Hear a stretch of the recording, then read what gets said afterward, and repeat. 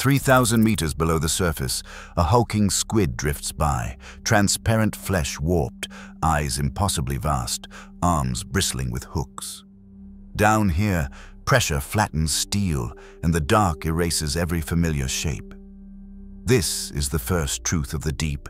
The further you descend, the stranger and more monstrous squids become. But why does the abyss remake ordinary creatures into nightmares? From flashes of unnatural light to bodies made of glass, the descent reveals something far more disturbing than myth or legend.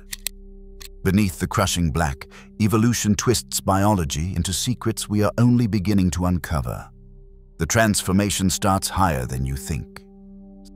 Sunlight barely grazes the ocean at 200 meters, dissolving into a blue haze that fades with every stroke deeper. Here, in the twilight, squids begin their transformation. Reef squid drift just below the surface, their bodies rippling with pigment, chromatophores firing in waves of brown, gold, and electric blue. These living canvases vanish against coral and sand, masters of camouflage in a world still ruled by color. But as the light thins, color becomes a liability. The firefly squid rises from the gloom, its body studded with tiny organs, each one a lantern. With a neural command, it ignites. Hundreds of blue lights flare along its arms and belly, erasing its shadow from predators below. In spring, millions gather off the coast of Japan, turning the water into a field of stars. The spectacle is beautiful and unsettling, a synchronized flash, a living constellation pulsing in the dark. Deeper still, the glass squid floats in near invisibility. Its body is almost pure jelly, so clear that organs hang suspended like ghosts inside a bell jar. A predator looking up sees nothing but the faintest shimmer. Along its underside, a line of photophores glows gently, matching the fading daylight above. Edith Widder once described this as nature's perfect trick, counter-illumination, a squid's way of erasing itself from the world. Steve Haddock explains that counter-illumination lets a squid erase its silhouette, matching downwelling light, becoming nearly invisible. In the twilight zone, the rules change. Pigment surrenders to transparency. Light is no longer for seeing, but for hiding. Here, the first weapons of the deep are not teeth or hooks, but the mastery of shadow and glow. The darkness presses in, and only those who can vanish survive. Yet even these tricks will not be enough for what waits below. At 1,000 meters, the last traces of sunlight are gone. The water is black, the cold absolute. Suddenly, the silence fractures. Humboldt squid, Dosidicus gigas, rise from the gloom, hundreds strong. Each is armed not with gentle suckers, but with rows of sharp hooks lining their tentacles like barbed wire. These are not drifting ghosts of the twilight, they are hunters. In the darkness, their skin pulses with electric flashes, white then crimson, then gone. The flashes ripple through the swarm, a language of violence and warning. Scientists have measured these pulses, less than one pulse per second, bright enough to cut through the murk for 20 meters. The signals coordinate the attack. Prey is surrounded in seconds, torn apart by hooked arms that leave deep wounds, sometimes even on each other. When food is scarce, Humboldt squid turn cannibal. Divers who have entered the water at night speak of the chaos. The water suddenly alive with flashing bodies, arms lashing out, wetsuits torn open by hooks. In 2009, a diver in the Sea of Cortez described feeling a dozen arms grab at his legs and arms, the pain sharp, the fear overwhelming. He kicked free, scrambling back to the safety of the cage, suit shredded, skin bruised and bleeding. In the aftermath, the sea glowed red with pigment released in the frenzy, a warning and a camouflage. The Humboldt aggression is not mindless. It is a strategy shaped by darkness and hunger, by the need to dominate a world where every meal could be the last. Here, in the midnight zone, the squid's body becomes a weapon and the pack a force of nature. The rules of the surface are forgotten. Only those who can outfight, outflash, and outlast survive. The deeper you go, the more the ocean demands, and the more the squid delivers. A glass jar sits in the archives of a German museum, sealed and silent. Inside, a pale squid the length of a finger floats in preservative, its body curled, its arms pressed close. This is Promachoteuthis sulcus, the so-called human teeth squid. Its mouth, ringed by fleshy lips, gives the illusion of a grin. Photographs have circled the world, a face from a fever dream, lips folded to mimic the shape of human teeth. The truth is stranger still. These are not teeth, not bone or enamel, but soft tissue, folded skin. Pale and ridged, draped over a dark, chitinous beak hidden beneath. The illusion is perfect, unsettling, and uniquely its own. The specimen was caught by chance in March 2007 trawled up from 1,842 meters in the South Atlantic, between Tristan da Cunha and South Georgia. It was netted in darkness, where pressure crushes the unprepared and only the most resilient survive. The crew preserved it immediately, logging every measurement, mantle length, arm span, the curious lips. The squid was sent to the Smithsonian's collection, labeled and catalogued, its chain of custody unbroken. No one has ever seen another like it, alive or dead. The depth is part of the mystery. Experts have studied the photographs and the specimen itself. Dr. Michael Vecchione and his colleagues describe the lips as a mystery, perhaps a shield for feeding, perhaps a sensory organ, perhaps a quirk of development brought on by the crushing depths. With only one example, science cannot say for certain. The deep sea is full of such ghosts, creatures known from a single body, never seen again. Each one is a caution, a reminder that the ocean's darkness hides not just monsters, but errors of perception. What seems monstrous may be a trick of anatomy, a fold of flesh mistaken for something more familiar. Yet the unease remains. One specimen, one mouth, one question. What else waits in the black, unseen, uncollected, misinterpreted. In the deep, certainty is as rare as sunlight. The jar remains sealed, the lips forever grinning in the dark. In the blackness between the surface and the abyss, a shadow stirs, longer than a city bus, silent as drifting ash. Architeuthis dux, the giant squid, glides through water colder than ice, its arms trailing like banners in a forgotten war. For centuries it was myth. Sailors spoke of monsters that dragged ships under, of tentacles rising from fathomless dark. Only in the last two decades has science caught more than a whisper. In 2004, Tsunemi Kubodera's cameras captured the first living giant in the North Pacific, 900 meters down, a single tentacle lashing toward bait, the moment trembling with centuries of unanswered questions. The giant squid's eye is the largest in the animal kingdom, spanning up to 27 centimeters across, wider than a dinner plate, built to gather the faintest glimmer. In perpetual night, these eyes are tuned to spot the ghostly glow of bioluminescence or the looming shadow of a hunting sperm whale. Every detail is a survival wager. The mantle can stretch 2 meters, and the reach of the longest arms can push total length past 14 meters, 45 feet. Suckers ringed with serrated chitin leave scars the size of coins on the heads of whales, proof written in flesh of encounters few have witnessed. Those scars find their echo inside sperm whale stomachs. Scientists have found hundreds of beaks there, silent records of a lifelong arms race.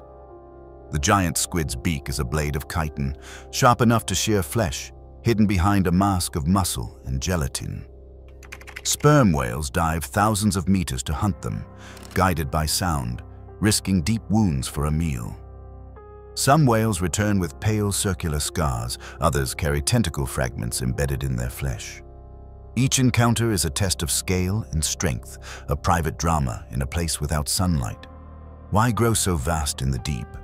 The answer is dark arithmetic, cold logic, shaped by pressure and hunger. Food is rare, predators fewer still, and gigantism becomes advantage. A larger body stores more energy, a bigger eye gathers more light, a longer arm can snatch prey before it slips away. Cold water slows the heart and stretches the years, giving time for giants to grow. In the deep, size is not spectacle, size is strategy. The deeper the ocean, the more the rules bend, and the more monstrous the survivors become. What we know of these battles comes in fragments, in scars and beaks, and the rare grainy film. Each fragment points to an ecosystem run to extremes, where evolution pushes anatomy toward forms that seem monstrous to our surface eyes. The giant squid is not a monster for terror's sake. It is a solution shaped by darkness, pressure, and hunger. If these are the squids we have found, the question remains, what lurks deeper, still unseen? The ocean below keeps its counsel, and less than 5% of it has been explored. The next shadow may be larger, stranger, and it waits in a world we have only begun to imagine. At 4,000 meters, the ocean becomes a world of silence and suspension. Here, bodies lose the rigid architecture of muscle and bone. Instead, they dissolve into something like memory, transparent, weightless, almost formless. The abyssal squids drift with arms trailing behind them, impossibly long, impossibly thin. Their flesh is 90% water, laced with gelatin that matches the density of seawater so closely they neither rise nor sink. There is no need for speed. Energy is precious, every movement measured. Some species let their arms stretch out like fishing lines, waiting for the faint brush of prey in the dark. Others let the current carry them, their bodies so fragile that a careless touch could tear them apart. Muscle is a luxury here. Instead, these squids have perfected the art of stillness. Their tissues shimmer with a faint spectral glow, sometimes blue, sometimes green. Never enough to draw attention, just enough to vanish into the black. Scientists have measured arm-to-body ratios that defy the rules of the surface. Arms six, eight, even ten times the length of the mantle, drifting like silk ribbons in the current. In this world, survival is a matter of patience and invisibility. The abyss rewards those who can disappear, those who can wait. Fragility is not a weakness, but a strategy. To exist here is to surrender to the water, to become a ghost among shadows. At 1,500 meters, the water grows heavier and the silence deepens. In these Antarctic depths, the colossal squid Mesonychoteuthis hamiltoni waits. This is not just another giant. Some specimens weighed and measured by scientists have tipped the scales at more than 1,000 pounds. Their mass alone is enough to warp the rules of the abyss, but it is their weaponry that sets them apart from every other squid. Along the arms, hooks curve outward, thick and sharp, mounted on rotating bases. Each hook can swivel, pivoting with the struggling movements of prey. Unlike the serrated suckers of the giant squid, these hooks are built for anchoring into flesh, for holding fast no matter how the victim thrashes. The mechanics are precise. A ball and socket joint at the root lets the hook twist without breaking, a design tested by the crushing pressure of the deep. Marine systematists have dissected these arms, tracing the chitinous root and the muscular sheath that controls the rotation, an engineering marvel in the dark.